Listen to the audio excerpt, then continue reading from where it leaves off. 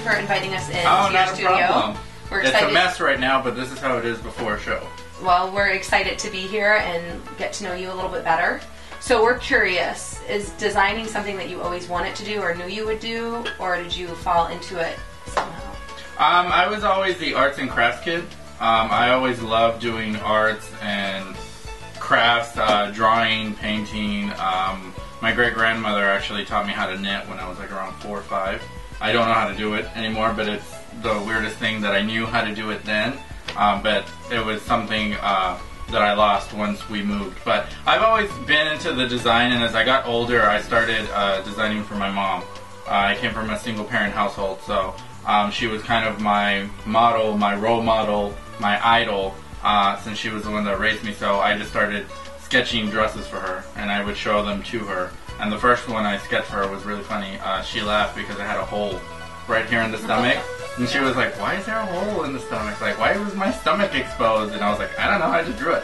And I just kept going with that. And then it wasn't until um, around high school when you start deciding what you want to do. I had already gotten into like fashion shows and fashion magazines, and I'd go to the library and try to read up on any little design thing that I would see. And then Sure. that's how I got in. Yeah, I grew up in São Paulo and we have lots of fashion there, but I never noticed and I was in a different field, working for a company for 11 years.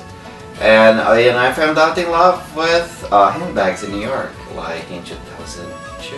How did you end up in New York from Brazil?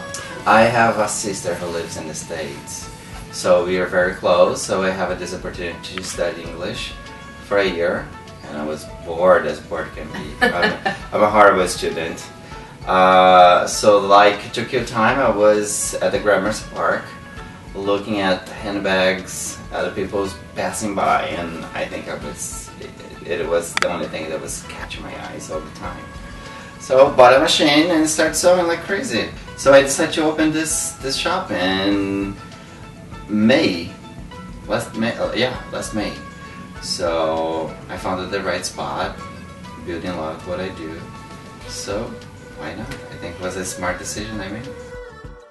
We know that you're very well known for your gorgeous, elegant gowns, bright colors, fun, flirty.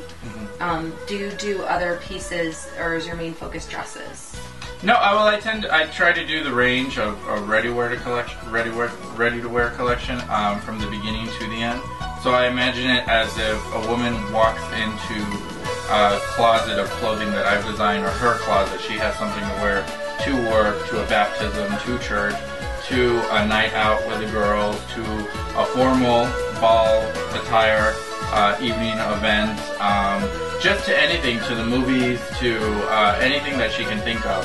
Uh, she might not necessarily wear it all, and she's obviously going to mix and match because that is the uh, beauty of fashion is always mixing and matching pieces. But she has something to wear for everything, uh, every event in her life, and she'd be she'd still be able to be comfortable and beautiful in it.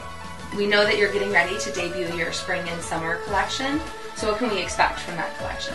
Well, it's the fall winter. Fall winter. Yeah, I'm it's sorry, the fall winter of apologies. 2011. No, that's okay. Too many seasons to remember. Right. Sometimes I do the same thing. I think I just want it to be spring and Yeah, summer. some people just want spring and summer, uh, we- especially with the weather in Chicago.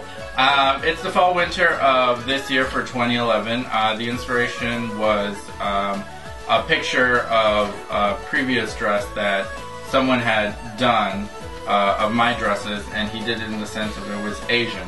And I had been toying with kind of an Asian uh, inspired collection because I had never done it. I always like doing something different and something obviously that catches my attention. Um, so we just I went with this whole uh, inspiration of the Ming Dynasty, not necessarily uh, so literal, but more just uh, figurative.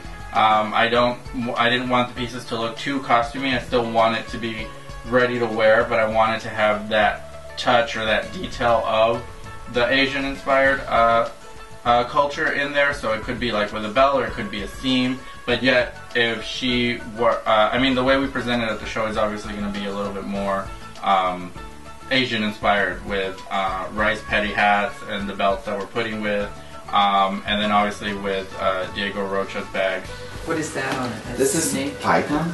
Oh wow, The color combination, I think, is it's it's so good. gorgeous. Yeah, how much is that one? This one is, I think, is 1680. Okay, oh.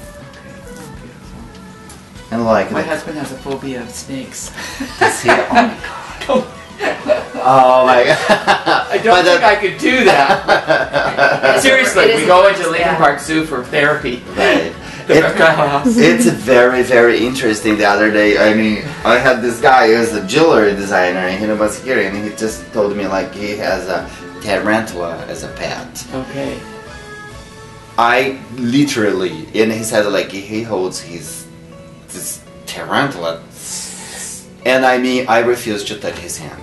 Oh yeah, Just I would for too. like, I was That's like, horrible. I was That's like, the creepiest thing I've ever heard. I know, and I was like, and he showed me this picture. He showed me here. I was there. Oh, isn't that one beautiful? this one is like ostrich Oh wow. and a yeah, crocodile. Oh my gosh.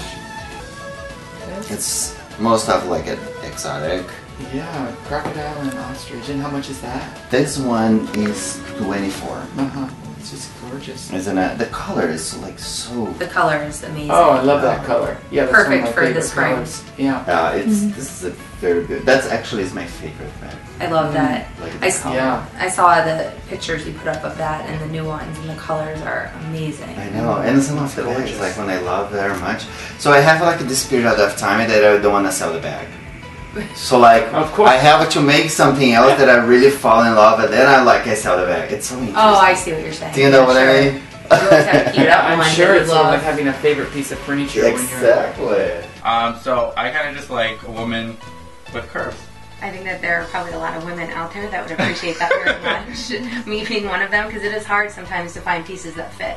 And I mean, I, I get that question a lot where they say, "Why do you do you just design for skinny girls? Do you just?" And I'm like, "No, I'm like the samples that I have, I always have to do in model sizes. Sure. It's just for the fact that I travel around with the pieces, going to different shows, and there's different. Obviously, it's just the the the the point of our industry. It's just the models are always skinny. They're that size.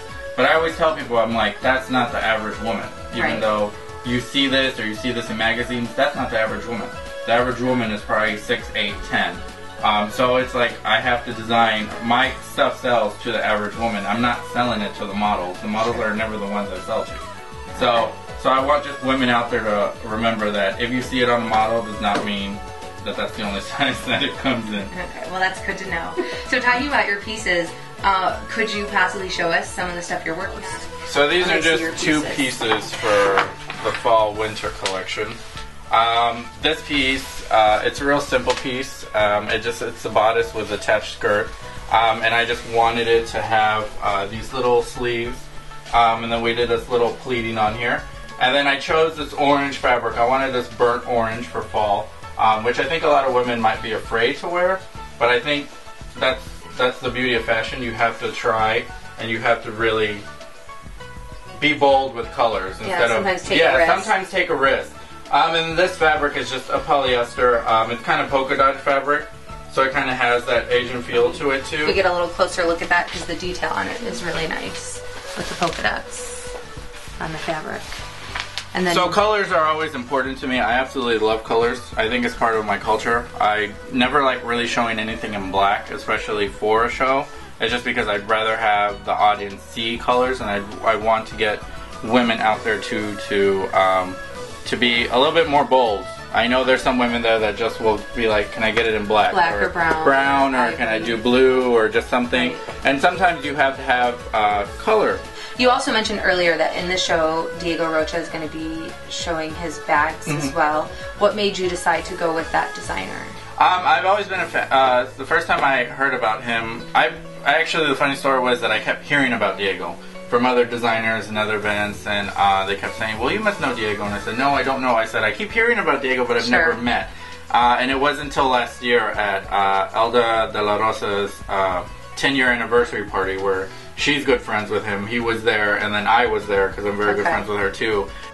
Oh, those are beautiful colors. Is? I love them. Yeah. This one here is it's like an ostrich. Mm. It's like she's about to come to pick it up.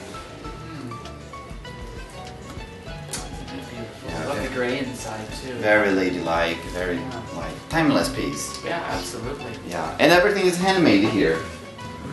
It's here Yeah. So Isn't like, that wild? by you. yeah, me and I have each other guys. So like this one is in a process to be finished. It's gonna be like a clutch, Beautiful. like this. Wow. so it's an artwork. Incredible. Wow. Thank you. And I'll give you my card.